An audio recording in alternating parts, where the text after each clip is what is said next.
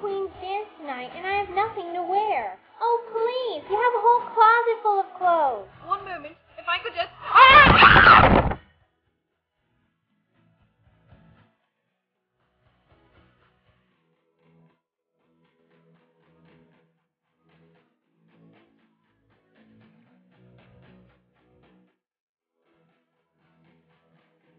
You're a princess? You like Sean.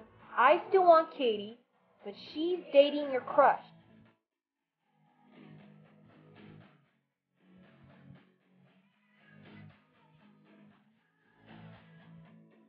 Prom is in two weeks? I do want to go to prom, but the one person I want to go with can't be there.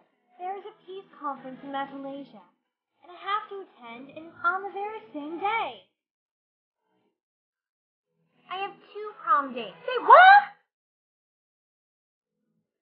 Freddie's going with Teresa. I have to tell him. I have to tell him that I still have feelings for him.